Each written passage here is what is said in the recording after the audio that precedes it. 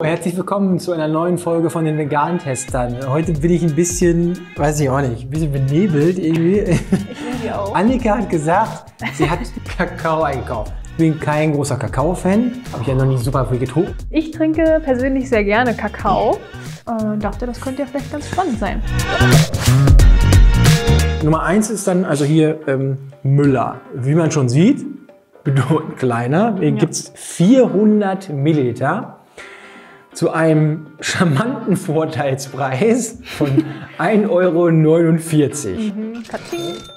Dann haben wir hier noch die Alpro Schokolade. 1 Liter für 1,99 auf Sojabasis. Dann hier, last but not least, wie heißt der? Oatmeal? Oatly. Oatly. Also Oatme steht hinten drauf, aber vorne Oatly. Oatly, okay. Haferkakao. Haferkakao. Ein Liter für 2,19 Euro. Es gibt auf jeden Fall eine preisliche Diskrepanz. Wir nehmen jetzt quasi immer schön zwei Gläser, schön ist das da rein und testen nacheinander durch. Genau, würde ich auch sagen. Dann bis gleich. Liebe Freunde des veganen Schokodrink-Geschmackes. Wir haben eingeschüttet. Es äh, hat alles einen gewissen Kakao-Geruch, wenn man, wenn man das ausschüttet. Das Einzige, was uns aufgefallen ist beim Einschütten, ist hier, dass der Müller Schokodrink hat dann doch eher die Konsistenz einer Wandfarbe am- Anfang zumindest. Dann würde ich sagen, lass uns anfangen. Wir haben den ersten, Kommst du ran? den ersten Duck. Ja, Prost. Prost. Riecht auf jeden Fall schokoladig. Ja, schmeckt doch schokoladig. Im ersten Moment finde ich es richtig süß und dann wird es okay.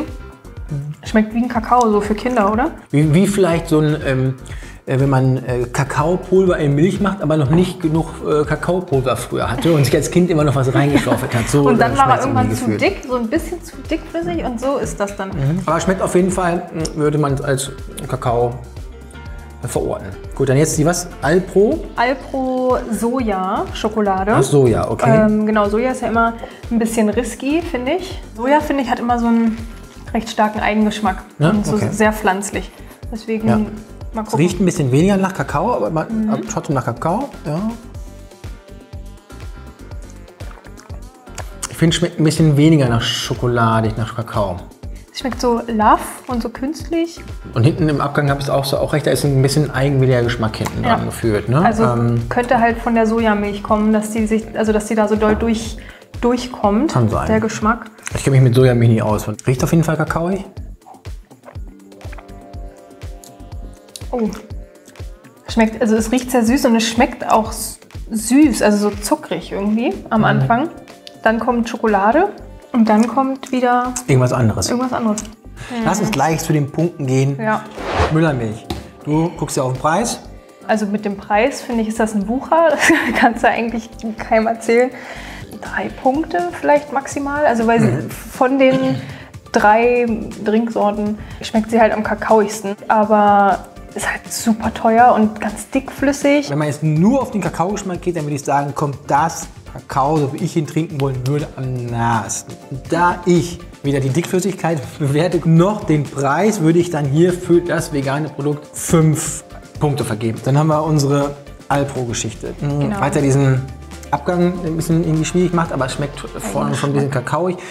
Ich würde den Ganzen rein geschmacklich äh, drei Punkte geben. Ich glaube, ich mache sogar nur 2,5.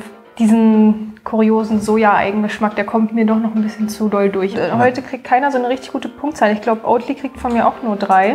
Mir geht's ähnlich. Ähm, Ich würde dem Ganzen auch irgendwie drei Punkte geben. Mhm. Ähm, weil ja, schon schmeckst den Kakao raus, aber ähm, hinten raus ähm, auch ein bisschen, also wechselt einfach wirklich im Mund den Geschmack. Du denkst erst ja, ist Kakao und dann auf einmal irgendwie schmeckt nach was anderem auch ein Mhm. bisschen. Wer da noch was anderes weiß an Schokodrinks, Ja. man ja, muss man ja sagen, der äh, möge uns bitte unten reinschreiben in die Kommentare, dann Unbedingt. testen wir das nochmal. Wenn einer seine Wand äh, schokoladenfarbig streichen möchte, dann könnte der quasi auch Müllermilch nehmen. Vielen Dank, bis, zum nächsten Mal.